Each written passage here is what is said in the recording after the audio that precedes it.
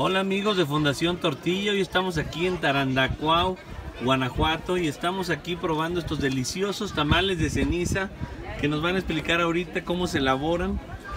¿Cuál es tu nombre? María Guadalupe Castro García.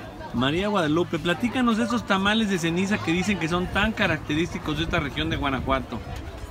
Sí, este, se elaboran con maíz. Este, se- el maíz se cuece con ceniza y cal. Y se deja reposar. Y ya, y ya que esté reposado el maíz, se lava.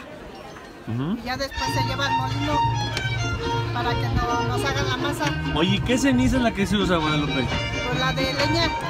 O sea, pero tiene que ser de alguna leña en particular o cualquier leña sirve o cómo es? eh, este, de encino es, es la mejor. A mejor de encino, en vez de pino, mejor de Sí, encino, ¿no? Que da.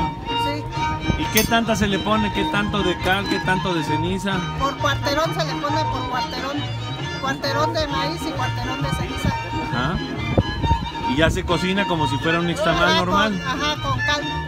Ah, muy bien. Y luego ya se lleva al molino y ya se molino muele igual. Y después se, se amasa con sal para que tenga sal el tamal. Ajá. ¿No lleva, lleva manteca o no? No, no lleva manteca. Ese no lleva nada, es casi la pura masita. Es la pura masa con sal. Oye, ¿y esta hoja que vemos aquí, Guadalupe, qué tipo de hoja es? Es de carrizo. ¿De carrizo? Carrizo. Ok, es una hoja especial aquí de un carrizo que se da por aquí.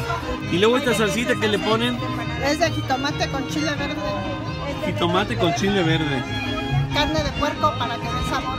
Ah, para que le dé saborcito. Y luego aquí tenemos dos formas, Guadalupe, una alargadita y una más. Y el otro es relleno de queso.